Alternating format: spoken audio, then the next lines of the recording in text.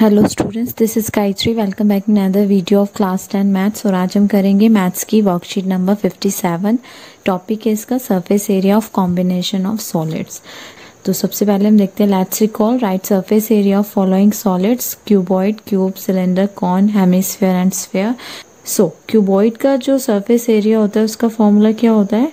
Cuboid के जो surface area होता है, उसका फॉर्मूला होता है two l b plus two l h plus two b h और यहाँ पर अगर हम टू कॉमन ले लेते हैं तो हमारा फॉर्मूला हो जाएगा टू ब्रैकेट में रह जाएगा। टू जो है वो सब में आ रहा है तो कॉमन ले सकते हैं हम उसको टू और ब्रैकेट में आ जाएगा l into b plus l into h plus b into h l length है बी जो है वो उसकी विथ है और एच जो है यहाँ पर क्यूबॉइड की हाइट इसी तरह से अगर हमें क्यूब का सरफेस एरिया का फॉर्मूला देखना है तो क्यूब क्या होता है, जिसकी ऑल साइड्स इक्वल होती हैं तो क्यूब का जो सरफेस एरिया होता है, उसका फॉर्मूला होता है सिक्स इंटू साइड स्क्योर तो अगर सपोज़ किसी क्यूब की जो साइड है, वो हमें गिवन है फोर सेंटीमीटर तो उसका जो सरफेस एरिया होगा वो क्या होगा? यहाँ पर हम फॉर्मूला पुट करेंगे six into side square side की जगह फोर रखेंगे फोर इंटू फोर सिक्सटीन तो six into sixteen is equal to कितना आ गया? Ninety six centimetre square solid है सिलेंडर सिलेंडर का जो कर्ड सरफेस एरिया होता है, उसका फॉर्मूला होता है two pi r h r क्या होती है? जो हमारे दोनों बेस हैं सर्कुलर शेप के,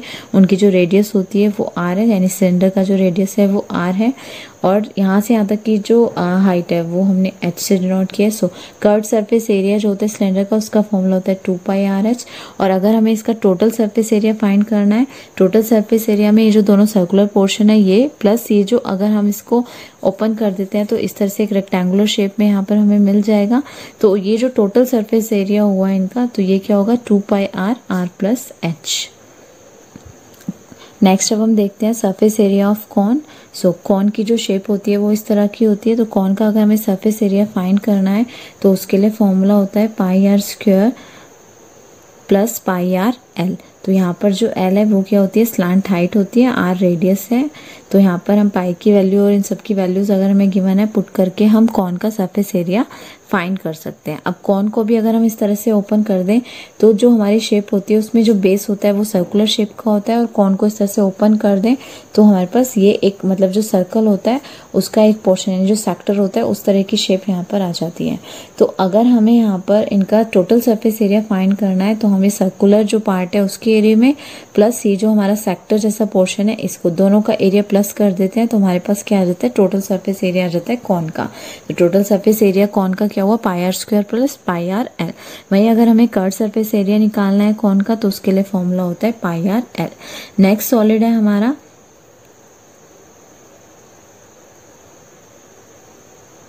हेमीस्फेयर हेमीस्फेयर जो होता है, वो स्फेयर का हाफ़ पोर्शन होता है। तो अगर हमें हेमीस्फेयर का टोटल सरफेस एरिया निकालना है तो उसके लिए फॉर्मूला क्या होगा? अगर हम कर्ड सरफेस एरिया में एरिया ऑफ़ द बेस को ऐड कर दें तो हमारे पास जो पूरा हेमीस्फेयर है, उसका टोटल सर्फेस एरिया आ जाएगा। अब जो हमारा स्फेयर होता है उसका जो टोटल सरफेस एरिया होता है, वो होता है फोर पाई आर स्क्वेयर उसको हम हाफ़ कर दे तो हेमी हेमिस्फेयर का कर्व सरफेस एरिया कितना आ जाएगा? टू पाई आर स्क्वेयर अब इस टू पाई आर स्क्वेयर में बेस का जो एरिया होगा बेस का एरिया का फॉर्मूला क्या होगा? बेस की जो शेप है, वो सर्कुलर शेप होगी. तो सर्कल का जो एरिया होता है, उसका फॉर्मूला पाई आर स्क्वेयर होता है. तो यानी कर्व सर्फेस एरिया हेमिस्फेयर में अगर हम area of the base plus कर देते हैं तो हमारे पास हेमिस्फेयर का टोटल सर्फेस एरिया जो है, वो आ जाएगा.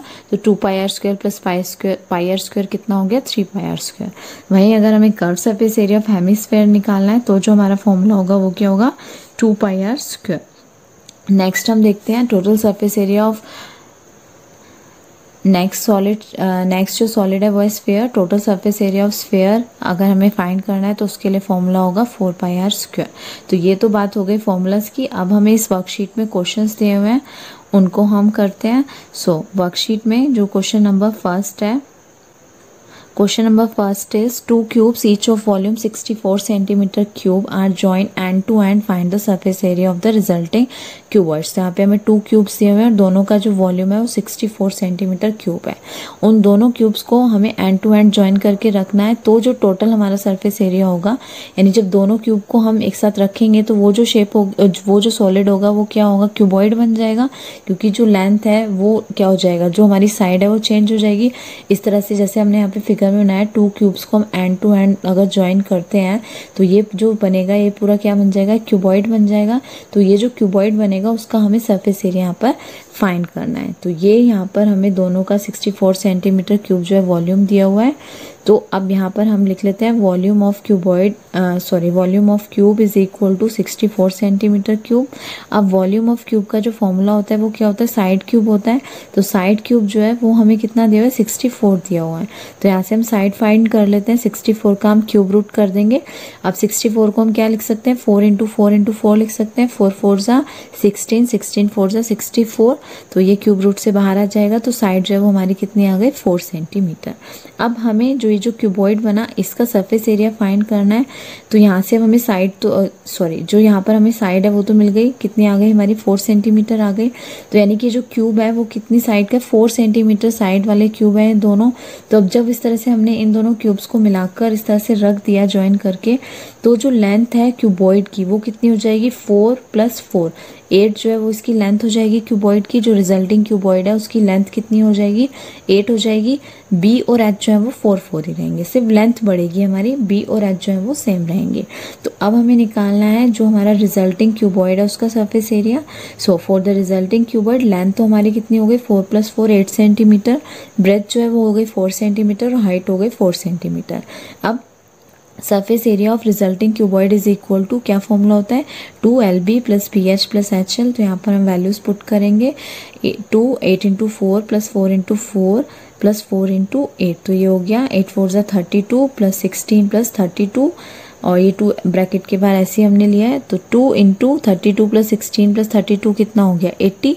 तो अब हम इसको मल्टीप्लाई करेंगे तो कितना आ जाएगा? 160 सेंटीमीटर स्क्वायर तो जो हमारा रिजल्टिंग क्यूबॉइड है, उसका जो सरफेस एरिया है, वो कितना आ गया? 160 centimetre square question number second is the decorative block shown in figure one made up of two solids a cube and a hemisphere तो यहाँ पर हमें क्या बोल रहे हैं? इस तरह से एक फिगर दिया हुआ है क्वेश्चन सेकंड में हमें जो फिगर दिया हुआ है, उसमें टू सॉलिड है। एक जो नीचे क्यूबॉइड है, उसके ऊपर हेमिस्फेयर है। The base of the block is a cube with edge five centimetre and the hemisphere fixed on the top has a diameter four point two centimetre find the total surface area of the block तो यहाँ पर हमें क्या दिया हुआ है? जो नीचे क्यूब है, उसका जो बेस है मतलब जो उसकी साइड है, वो फाइव फाइव सेंटीमीटर की, यानी वो क्यूब है तो उसका एक साइड जो है, वो इक्वल होगा।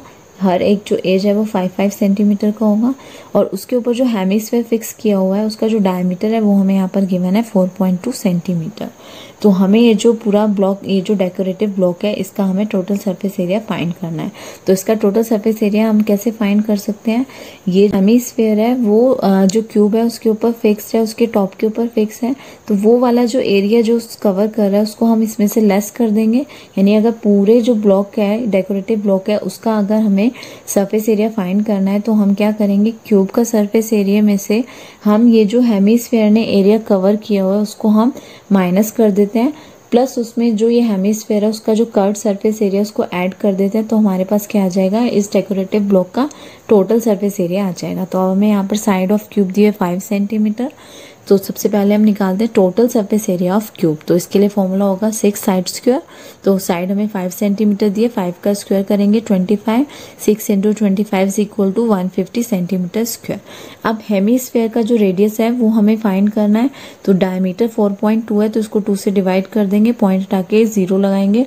तो डिवाइड करेंगे तो हमारे पास आएगा two point one centimetre so area of the base of hemisphere निकालने के लिए अब हम क्या करेंगे? एरिया ऑफ़ द बेस को हमें क्या करना है? क्यूब का जो सरफेस एरिया उसमें से हमें ये एरिया ऑफ़ हेमिस्फेयर जो है वो माइनस करना है। तो हमें पहले ये निकालना पड़ेगा area of the base of hemisphere तो एरिया ऑफ़ द बेस जो होगा, वो क्या होगा उसका फॉर्मूला क्योंकि वो एक सर्कुलर शेप का सर्कल का जो एरिया होता है, उसका फॉर्मूला होता है पाई आर स्क्वायर तो एरिया ऑफ़ द बेस हो जाएगा pi r square pi twenty two upon seven लेंगे, और आर हमें टू पॉइंट वन के गिवन है two point one into two point one decimal हटा के हमने नीचे यहाँ पर ज़ीरो लगा लिया। अब twenty two twenty one into twenty one इन तीनों को मल्टीप्लाई करेंगे और नीचे seven into ten into ten multiply करेंगे डिवाइड करेंगे तो हमारे पास आएगा thirteen point eight six centimetre square अब हमें क्या निकालना है? The surface area of the cube consider तो अब जो हमारा बाकी का जो क्यूब बचा है, उसका सरफेस एरिया कैसे फाइंड करेंगे हम? जो टोट हमारा टोटल सरफेस एरिया जो क्यूब का है, उसमें से ये जो बेस का एरिया उसको हम लेस कर देते हैं। यानी 150 में से माइनस कर देते हैं 13.86 तो हमारे पास कितना आ जाएगा? 136.14 सेंटीमीटर स्क्वायर तो ये तो हमारा हम जो क्यूब था, उसका सरफेस एरिया आ गया। अब हमें कर्ट सरफेस एरिया निकालना है हेमिस्फेयर का तो उसका फॉर्मूला होगा two pi r square two into twenty two upon seven into two point one into two point one तो उसको सॉल्व करेंगे तो हमारे पास आएगा twenty seven point seven two centimetre square तो ये आ गया हेमिस्फेयर का कर्ट सरफेस एरिया अब हमें जो पूरा डेकोरेटिव ब्लॉक है, उसका टोटल सर्फेस एरिया फाइंड करना है. तो अब वो टोटल सर्फेस एरिया क्या हो जाएगा हमारा? ये जो क्यूब का सरफेस एरिया था प्लस ये जो कर्ट सरफेस एरिया है हमारा हेमिस्फेयर का, यानी कि 136.14 में ये 27.72 हम ऐड कर देंगे तो हमारे पास आ जाएगा 163.86 सेंटीमीटर स्क्वायर तो इसका जो डेकोरेटिव ब्लॉक है, उसका जो टोटल सरफेस एरिया है, वो कितना आ गया? 163.86 सेंटीमीटर स्क्वायर अब नेक्स्ट क्वेश्चन देखते हैं. Question number third is Mayank made a bird bath for his garden in the shape of a cylinder with a hemispherical depression at one end जैसे कि figure see in figure second the height of the cylinder is 1.4 metre and its radius is 30 centimetre find the total surface area of the bird bath. तो यहाँ पर मयंक जो है, उसको एक bird bath बनाना है अपने गार्डन में। उसकी जो शेप है, वो कैसी सिलेंडर है विद द हेमिस्फेरिकल डिप्रेशन उसके अंदर जो है, इस तरह से एक हेमिस्फेरिकल आ रहा है एक एंड पे। तो हाइट ऑफ़ द सिलेंडर हमें गिवन है 1.4 मीटर है, और जो रेडियस है, वो कितना है? 30 सेंटीमीटर है। तो हमें इसका टोटल सरफेस एरिया फाइंड करना है बर्ड बाथ का। तो अब यहाँ पर हमें फिगर गिवन है। तो total surface area of the bird bath हम कैसे फाइंड करेंगे? यहाँ पर कर्ट सरफेस एरिया हम सिलेंडर का निकालते हैं और कर्ट सरफेस एरिया हम हेमिस्फेयर का निकालते हैं और दोनों को ऐड कर देते हैं तो हमारे पास जो टोटल सरफेस एरिया है बर्ड बाथ का वो आ जाएगा। तो अब यहाँ पर हमें जो हाइट है वो दी दिए 1.45 मीटर इसको हम सेंटीमीटर में चेंज कर लेते हैं हंड्रेड से मल्टीप्लाई करके तो आएगा 145 सेंटीमीटर रेडियस हमें गिवन है 30 सेंटीमीटर अब जो कट सरफेस एरिया होता है सिलेंडर का उसका फॉर्मूला होता है टू पाई आर एच अब हम यहाँ पे हमने जो सिलेंडर की रेडियस है, उसको आर वन लिया है और जो हेमिस्फेयर है, उसकी रेडियस को आर टू लिया है। और जैसा कि हमें फिगर में पता चल रहा है और हमें क्वेश्चन में गिवन है कि जो आर वन है वो आर टू के इक्वल है। दोनों की जो रेडियस है वो सेम है। तो हम क्या करेंगे? आर टू की भी जगह पे हम क्या रख देंगे? आर वन रख देंगे। यानी जो हमारे फॉर्मूलेज हैं वो क्या हुए? Curved surface area of cylinder क्या हुआ? Two pi r one h plus two pi और जो हमें रखना है curved surface area of hemisphere तो उसका फॉर्मूला होता है टू पाई आर स्क्वायर और आर यहाँ पर कितनी है? आर टू है। तो ये हमारा फॉर्मूला हो गया two pi r one h plus two pi r two square और जैसे कि हम देख सकते हैं कि जो क्वेश्चन है उसके अकॉर्डिंगली जो आर वन है वो आर टू के इक्वल है। यानी रेडियस ऑफ़ सिलेंडर जो है वो रेडियस ऑफ़ हेमिस्फेयर के इक्वल है। तो अब यहाँ से टू पाई आर वन हम two pi r one h plus two pi r two की भी जगह हम आर वन लिख देंगे और स्क्वायर हो जाएगा। अब टू पाई आर वन को कॉमन ले लेते हैं तो ब्रैकेट में रह जाएगा h plus r one values put करेंगे two into twenty two upon seven r one कितना है? थर्टी है। रेडियस जो है वो हेमिस्फेयर के लिए भी, सिलेंडर के लिए भी सेम है थर्टी है। हाइट हमारी कितनी है? One forty five plus thirty इनको मल्टीप्लाई करेंगे तो आएगा thirteen twenty upon seven into इन दोनों को ऐड करेंगे तो आएगा वन सेवेंटी फाइव सेवन से वन सेवेंटी फाइव को डिवाइड करेंगे तो आ जाएगा ट्वेंटी फाइव थर्टीन ट्वेंटी को हम ट्वेंटी फाइव से मल्टीप्लाई करेंगे तो आएगा thirty three thousand centimetre square तो अब हमें इसे मीटर में चेंज कर लेते हैं। अब one metre is equal to hundred centimetre and one metre square is equal to hundred centimetre square तो इसको मीटर में चेंज करने के लिए अब हम इसको हंड्रेड इंटू हंड्रेड से डिवाइड करते हैं। तो हमारे पास कितना आ जाएगा? Thirty three thousand upon hundred into hundred double zero से डबल ज़ीरो कैंसिल ज़ीरो से ज़ीरो कैंसिल थर्टी थ्री को टेन से डिवाइड करेंगे तो आ जाएगा three point three metre square तो हमारा जो सरफेस एरिया है टोटल सरफेस एरिया जो है बर्ड बाथ का वो कितना आ गया? Three point three cent sorry three point three metre square